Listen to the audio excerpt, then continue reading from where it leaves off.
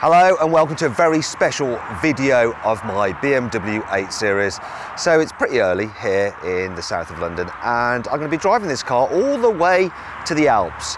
And when I get to the Alps, I'm going to swap it for another car and that car will then become my long-term daily driver. So I'm going to talk you around what I'm going to be doing with this car though. We go to the Geneva Motor Show and a few days before we're actually going to go skiing. So here we have my snowboard and I've also got someone with me in the car.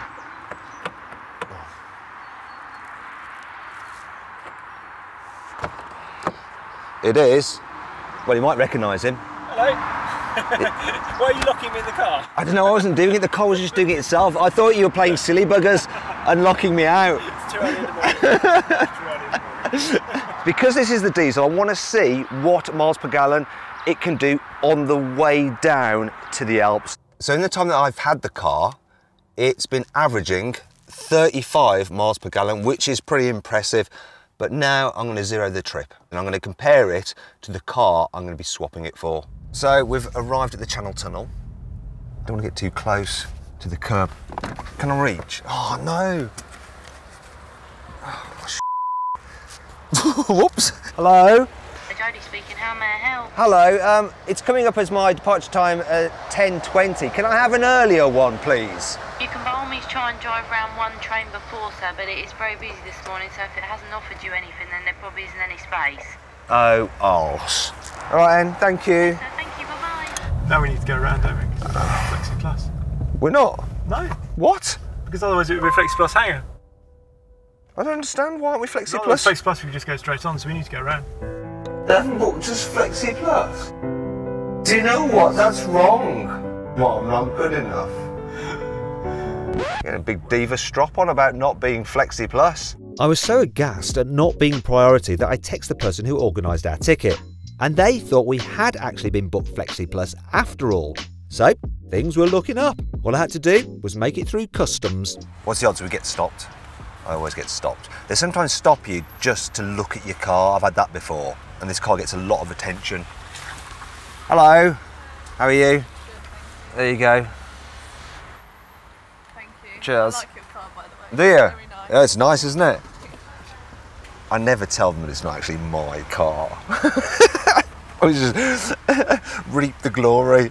Oh yes, I'm incredibly well off. I can afford a nice BMW 8 Series. Yay! We're not going to get searched.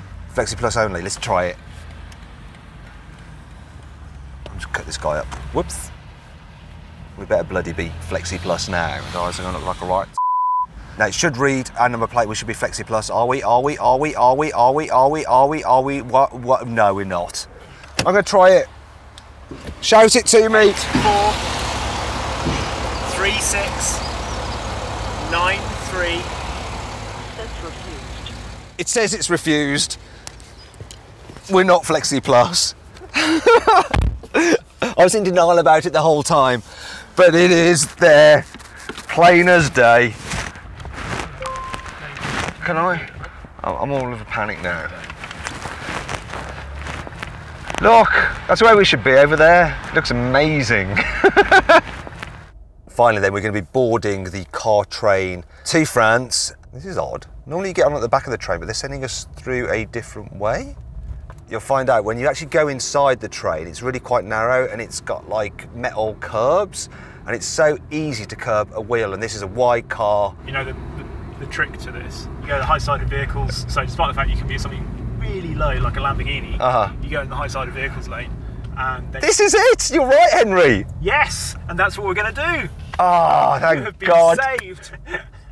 I'm so pleased Oh, about that. All your prayers have been answered. So here we go. We're going in the the lorry section. Such a piece of luck. No, I better not curb it. It'd be quite hard to. You are building yourself up. No, come on. I'm not going to cock this up. This is a blessing. There we go. All done safe and sound. So we're finally on the train and we're moving, heading off to France right now. I'll give you a quick look round the carriage we're in. As you can see, it's really high, so it's suitable for lorries and it's nice and wide, so I haven't worried about curbing those wheels. Now I'm going to tell you something a little bit interesting about the tyres. So I've had them swapped over to winter tyres because obviously we're going up into the Alps and it's gonna be snowing. They're a slightly smaller wheel and these are run flats. On the car before I didn't have run flats and even though it had a bigger wheel it rode over bumps better than these slightly smaller wheels on run flats. I really do not like run flat tyres. Well here we are arriving in France. So now we've got about six hours of really boring auto route driving so there's not really going to be much to say unless we have a massive crash. Fortunately, we didn't crash, though the French countryside was so dull to make us want to. The only real event was finally having to stop for fuel, as there was only 49 miles left in the tank and 151 miles to my destination. So I filled up with diesel, which seemed to take ages and cost quite a lot too. Well, there you go, I filled it up. 61 litres for a full tank, which comes to 101 euros.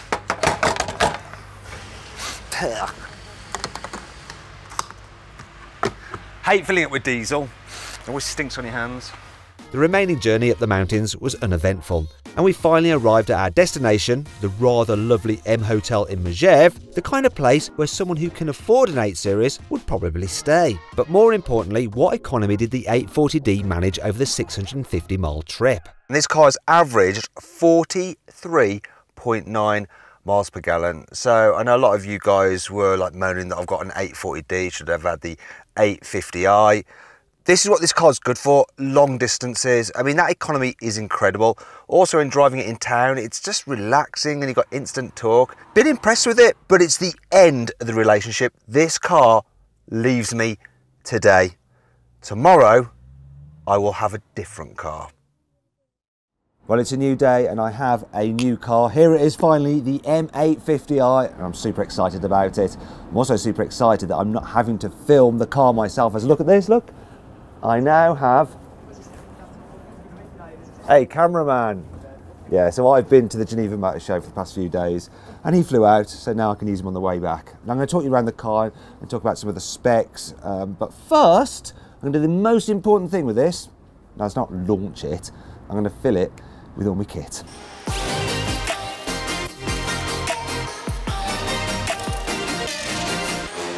Finally then, I'm sat inside the V8 version of the 8 Series and I'm going to keep this car for four months. So that's good.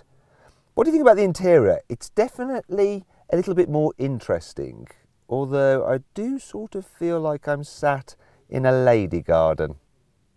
Anyway, let's start this thing up because it's all about the engine. Got a 4.4 litre twin turbo V8 with 580 horsepower and it sounds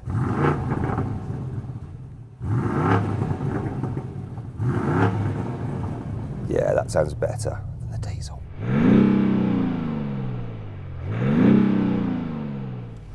Anyway, let's drive it. Now, one of the things I'm keen to see when comparing this to the diesel is just what kind of economy I can get out of it. So, I've zeroed the trip on this one. I've got three quarters of a tank. We'll see how many times I have to fill up and what my average MPG is over the course of the journey. So then, what's my first driving impressions? Well, at the moment, I'm just driving through town and it doesn't really feel that much different to the diesel. Yeah, it costs around 30 grand more than the 840D. However, I'm coming to an open stretch of road. I'm going to put the car into sports mode, gearbox into manual. Yes. yeah, and there's the difference. it feels noticeably quicker.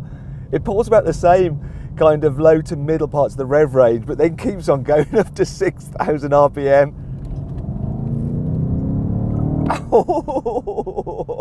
I like it. That's some insightful journalism, isn't it? But then here's the reality look, I'm now stuck behind a chain of cars and I can't do anything about it. So, yeah, that bit of fun was short lived to say the least. I mean, what is this? We're doing 16 miles an hour. I could roll down here faster on a skateboard. Oh, just realised why. this road works. Je suis les roast beefs. Sadly, the fun roads were over and it was back on the boring auto route. But that didn't mean I couldn't have some fun. So here we are at a toll booth. I'm just gonna launch it. Oh yeah. oh, is that the police? Hi. Didn't even bat an eyelid. Good old French gendarmes. well, that's quick. It's definitely quick. But while my antics might not have attracted the attention of the French law, they were spotted by a fellow BMW driver. And all he wanted was for me to do one thing. Obviously, I obliged. So I've been driving now for about 280 miles and the fuel warning has come on. So I've got 45 miles left in the tank and I've still got 133 miles left to my stopover point. I've been cruising along at 80 miles an hour at the speed limit using the cruise control system, so I haven't been driving particularly fast apart from that launch earlier. The range is definitely going down faster than the miles on the sat nav. Thing is, in France though, I'm not entirely sure where the fuel stations are because they don't tell you that often and they can be quite far apart. So, I know. Hey BMW. Hello. What can I help you with? Take me to a petrol station. Which one of the destinations shall I select? Ah, look. It's got one en route. I'll take that. Okay, get started. Ah, that was easy. There's one just like four miles away. Whew. This was my first fuel stop in the V8. So, how thirsty was it? Well, that was 63 litres and it's coming at just a few centimes under 100 euros. It's really boring just kind of travelling along on the French auto route. So I've been messing with the car's media settings and I found that it's got a hard drive with some music downloaded onto it which has obviously been done by BMW Press Office, and they've got quite a few songs by ACDC, and I didn't know just how rude the songs were. So we've got Let Me Put My Love Into You, What Do You Do for Money, Honey, Shoot to Thrill, You Shook Me All Night Long, and Giving the Dog a Bone. it's just so rude. But it wasn't quite as rude as the rude awakening that was my next stopover somewhere in the west of Paris. Well, I finally arrived at my destination, and the bad news is that, yeah, the hotel I'm staying in tonight is nowhere near as nice as the hotel I was staying in in Megève. In fact, I think the value of this car is worth more than all the cars added together in this car park. Well, it's another day and it's another video. You see, today I've been filming this car here. Look, a Tesla Model 3. Yes, I'm at Tesla's store in Paris. That's what I've been doing all day. Now, if you want to see my full in-depth video review of the new Tesla Model 3, then just click up there in the pop-out banner in the top right-hand corner of the screen or follow the link below the video. Now, though, I've finished filming, so I'm going to jump back in this good old-fashioned V8, and I've got about 200 miles to the Channel crossing, and then probably about another two hours drive on the other side. So it's going to be a long old day. Actually, there wasn't much of the day left, which meant it was going to be a long old night. Thankfully, the 8 Series was fitted with the excellent optional laser lights, which helped illuminate the pitch black auto route. Finally, I've arrived at Calais and the tunnel. I am very tired. Now we're heading into Flexi Plus. I hope this car has Flexi Plus this time. This one must have it, please. I don't understand. Why aren't we Flexi Plus? What, not good enough? What's your name, please? Matthew Watson. Have we got Flexi Plus? You have a Flexi Plus ticket? Result and Flexi Plus. Thank you very much. You're welcome, sir. Have a nice Christmas. Au revoir. Bye. Bonsoir. Bonsoir. Oh, ho, ho, ho. Not There we go. Couldn't read that at the end. and that wasn't the only thing that was ruined at the end. It looked like the car's alloy wheels might be too. Oh no, look, I'm going in the normal one, the double decker where it's narrower. Oh, hopefully I'm not going to bash these wheels.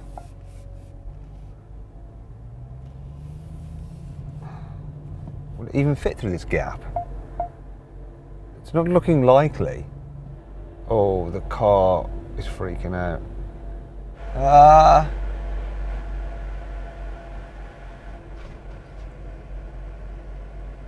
Ooh, it's close. Oh, this is not what I need at this time of the night.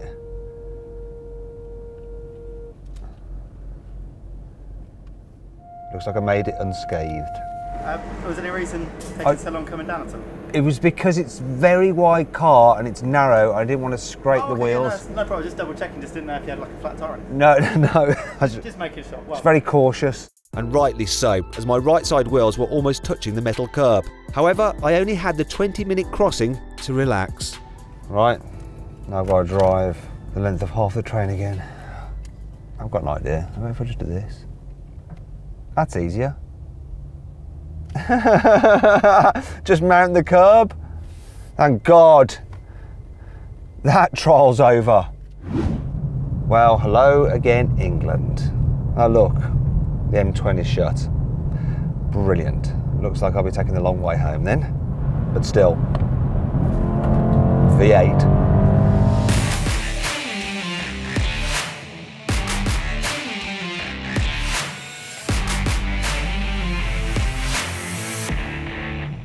Well, I finally arrived home in London and I've just made it without having to fill up again. I've got 14 miles left in the tank and I've averaged 27 miles per gallon over the journey. Not terrible, but not as good as the diesel. Still, V8. Please subscribe to this channel for more videos. And if you click on the deals box to the right, you can see how much you can save on a new car at CarWow. Or click on the video windows below to watch another of my videos.